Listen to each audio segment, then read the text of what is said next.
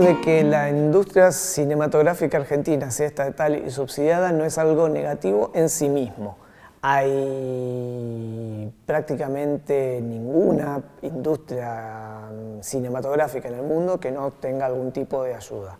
Eh, Estados Unidos es la única donde casi no tiene ayuda, pero de todas formas hay estados que hacen eh, que tienen exenciones impositivas y todo para, las, filmaciones que se hacen en esos lugares. Así que incluso en Estados Unidos también hay algún, algún tipo de ayuda.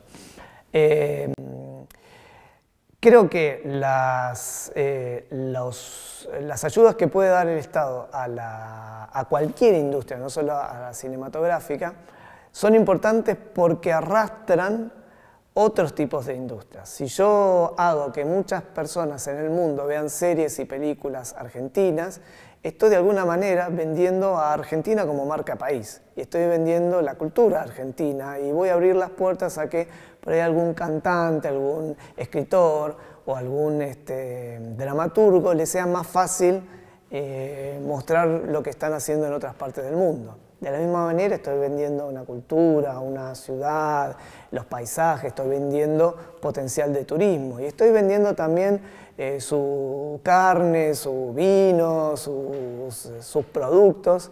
Entonces creo que en ese sentido el cine y la televisión se convierten en un, en un, eh, en un caballito de batalla donde arrastran a otras industrias. Por lo tanto, si yo tuviera un país que fuera, que fuera mío y tuviera que, alguien me preguntara, bueno, ¿cómo diseñarías para hacer esto? ¿Invertirías o no invertirías en cine que es una actividad tan riesgosa? Yo diría sí, porque mm, aún si la actividad cinematográfica no me dejara ganancias a mí como Estado, eh, puede que lo pueda recuperar con estas otras industrias.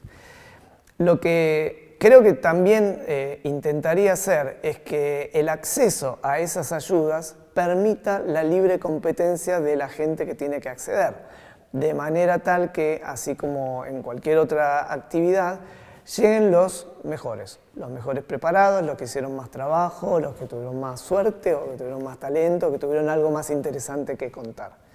Eh, en el caso de Argentina, esto creo que no es así, creo que el, problema que tenemos es que no está diseñado el sistema de créditos y subsidios para eh, premiar el, mérito.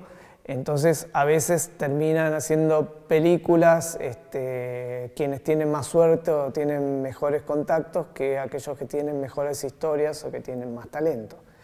Eh, no siempre, en algunos casos sí, en otros no, pero el, es más aleatorio. El, hecho de que llegue alguien talentoso a filmar una película en Argentina creo que es más aleatorio y tiene más que ver con los contactos que hizo que con el hecho de que su proyecto haya sido un proyecto mm, fabuloso, fantástico, interesante, rico y lleno de talento desde el principio. Este, creo que eh, se debería mm, tender hacia mm, lo que creo que debería ser cualquier ayuda en cualquier industria.